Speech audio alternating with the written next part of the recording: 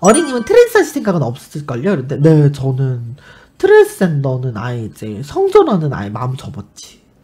어, 지금 삶에 저는 만족을 많이 하고 있습니다. 어, 저의 삶에 만족을 하고 있어서 그런지 그렇게 뭐 성전환 하고 싶다거나 성별을 바꾸고 싶다거나 이런 생각 안 들더라고요. 근데 아마 제가 이런 생각을 할 수 있게 된 데에는 어쩌면 우리 어부의 역할이 정말 컸을 것 같아요. 왜냐면은 어부가 그냥 나를 대해주는 것 자체가 사랑을 주고 부족함이 없이 사랑을 주고 뭐 여러모로 내가 굳이 불편함을 느끼지 않게끔 모든 것들을 이해해주고 인정해주고 어부가 그러면서 또 저희 가족들도 어느 정도의 저의 성향이라든지 이런 것들을 받아들여주면서 사실 주변에 있는 사람이 내 성향을 있는 그대로 받아주기 시작하면 겉모습은 중요한 건 아닌 것 같아. 그러니까 뭐 제가 또 또 직업상 어쩔 수 없이 유튜브 쪽으로 하고 있으니까 더 그냥 제가 프리한 걸 수도 있지만 사실 게이로서 누구한테 커밍하는 거 트랜스젠더로 넘어가면서 이제 성전환을 하려고 하는 것도 내가 내 모습을 찾아가는 과정도 있지만 내가 나의 성향을 내 주변 사람들한테 또 내가 살아가는 이 세상에 인정받고 싶은 부분도 분명히 있는 거거든요. 근데 우선 내가 나의 성향이라든지 나의 취향 모든 것들을 존중해주는 상황이 되다 보니까 굳이 성전환이라고 하는 엄청나게 위험하고 리스크가 크고 또 힘든 길로 갈 생각이 별로 없는 거지. 저도 그렇게 생각해요. 겉모습이 중요한 게 아니라고 그러는데. 근데 이제 많은 사람들이 겉모습을 보고 판단을 내리니까 어쩌면은 성전환을 안 할 수 있는 분들도 성전환으로 가는 경우들이 있을 거예요. 왜냐면 안 그러면 나의 성향을 인정해주지 못하니까. 인정해주지 않으니까. 근데 뭐랄까. 저 같은 경우는 그래도 어, 저, 저 보세요 뭐 제가 입고 싶은 옷도 있고 뭐 네일 아트도 하고 싶으면 하고 화장도 하고 싶으면 하고 뭐 연애도 내가 원하는 방향의 연애를 잘하고 있고 뭐 그러다 보니까 그 생각을 안 하게 되는 것 같아요. 결론은 성전환 하시는 분들이 정말 다양한 이유를 가지고 그 길로 가시겠지만 뭐 저라는 사람은 제가 오로지 저로서 사랑받고 싶었던 마음이 정말 컸던 것 같거든요. 근데 그게 해소가 되고 나니까 그렇게 그 마음이 깊진 않더라고. 지금 그대로의 모습을 받아들이고 인정받는다면 굳이 그럴 필요가 없는 것 같아요. 축복받으셨어요. 근데 그래서 정말 정말 저 축복받은 사람이다라고 생각하고 살고 있어요. 음, 왜냐면은 정말 그 길로 가는 것도 너무 힘든 길이잖아요.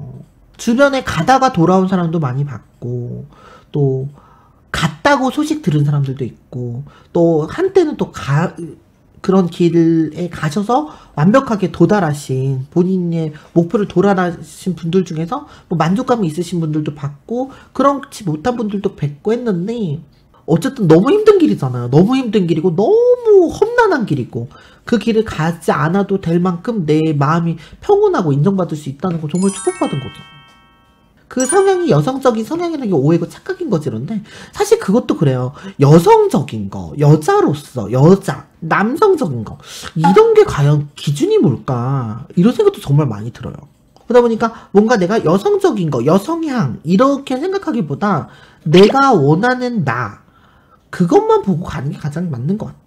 그냥 존재로 살면 되는데 근데 그것도 있어요. 우리나라 사회가 어느 정도 그걸 양분한다는 거야. 남자는 이래야 된다, 여자는 이래야 된다. 이런 거에 갇히다 보니까 나는 지금 내 있는 모습 그대로에서도 내가 원하는 거 추구하는 것들을 하면서 살 수도 있고 뭐 그 방향 속에서도 또 성전환이 있을 수 있는 거예요. 내가 가고 싶은 방향 그냥 거 껍데기라서가 아니라 남들에게 보여주는 게 아니라 그냥 내가 하고 싶어서 그냥 그게 나라서 하고 싶은 게 나라서 하는 사람도 분명 있을 건데 너무 남자는 이래야 되고 여자는 이래야 되고 이런 것들 때문에 어쩔 수 없이 성전환으로 내몰리는 심적으로 그쪽으로 갈 수밖에 없는 상황이 될 수도 있다는 거야. 어, 왜냐면 남자 이건 하면 안 돼. 이렇게 하면 안 돼. 이거는 어, 남자가 할 수 없는 것들이 이런 거를 막아 놓으면 그런 것들을 하기 위한 방법으로 성전환이 있지 않을까라는 생각도 분명 들거든.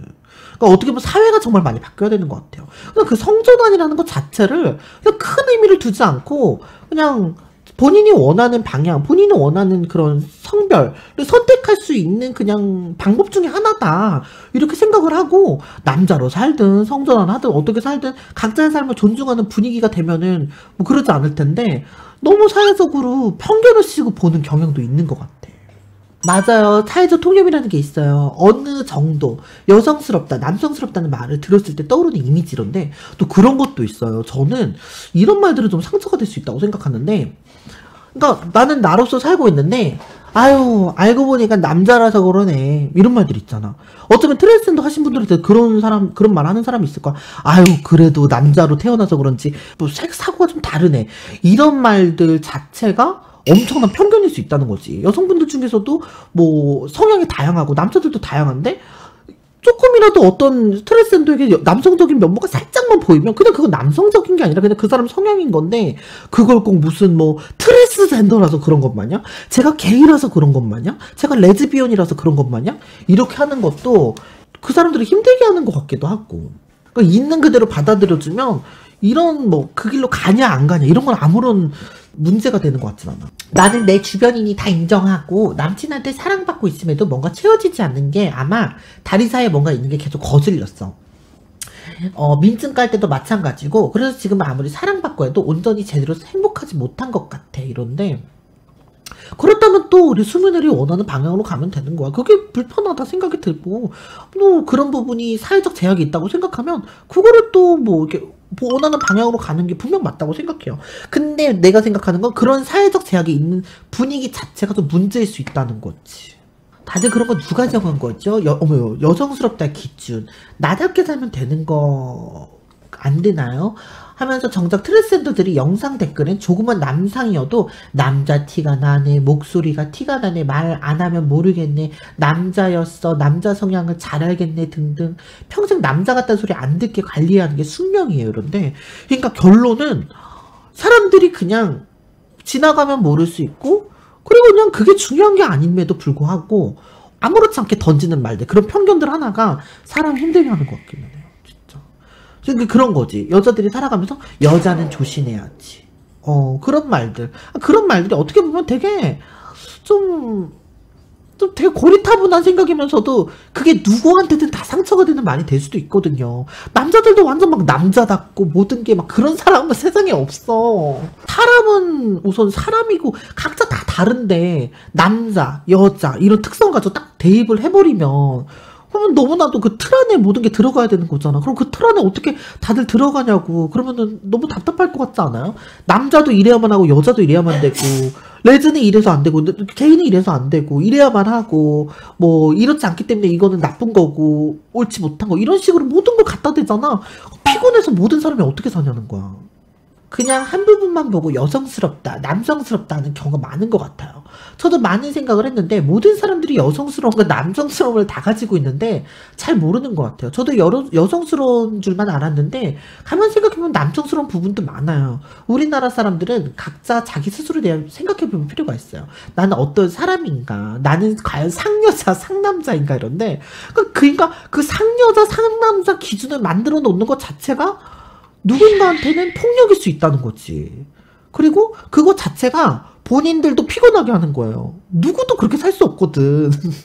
저는 쇼핑도 안 좋아하고 잘 안 꾸민다고 남자 같다는 말을 들었어요. 그런데 요즘은 남자들 더 많이 써요. 더 많이 쓰고 미모에도 관심이 많고 그 꾸미고 안 꾸미는 걸로 남자 같다 여자 같다는 건 너무 말도 안 되는 거야. 이상하게 남자애들 중에서도 자기가 여자 같다고 느낀 애들한테는 이상한 쥐대를 들이대요. 넌 여성스러운 애인 줄 알았는데 털이 많으니까 깎으라는 동인데 어 맞아 맞아 어 맞아 얘가 그런 거 남학교 다니면 많은 그런 일이 있어 맞아 남학교 다니면 이제 저는 워낙 또 저랑 비슷한 성향인 친구들이랑 많이 어울려서 아는데 그런 말을 한 애들이 있어. 어, 너는 여성스러운데 왜 털이 나냐고. 털을 관리하라고.